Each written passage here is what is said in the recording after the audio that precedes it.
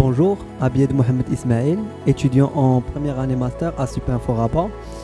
Nous avons organisé le Supinfo Discovery Day afin de partager avec les étudiants Bac plus 1, Bac plus 2 et Bac plus 3 nos expériences, nos laboratoires et aussi nos événements. J'espère que ça vous a plu et à la prochaine. Les étudiants de Supinfo Rabat et principalement les étudiants de M1 de Supinfo Rabat ont organisé aujourd'hui la première édition de la Discovery Day de, de. C'était une vraie réussite, donc euh, avec un programme euh, euh, très, très chargé.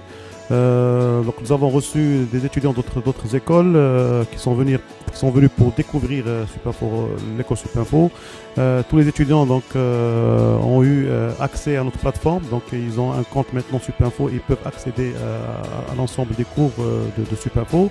Également, donc, nous avons présenté les laboratoires de Supinfo, donc nos étudiants euh, responsables de laboratoire ont présenté le, laboratoire euh, Cisco, laboratoire euh, sécurité, BI, ERP, robotique et business intelligence.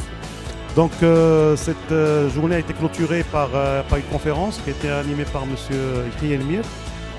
c'est une personne que personnellement je, ne connaissais pas avant, mais j'étais agréablement surpris par, par, cette personne. Euh, je pense qu'on doit tous être fiers en tant que Marocains d'avoir des, compétences, euh, d'avoir euh, des Marocains qui ont ce type de compétences et ce type d'expérience professionnelle. Donc il a bien voulu partager avec nos étudiants. également, donc, je suis également très fier de mes étudiants, donc M1 de Super Rabat, qui ont fait un travail extraordinaire pendant trois semaines. donc, ils se sont bien battus donc, pendant trois semaines pour justement organiser cette journée. Merci.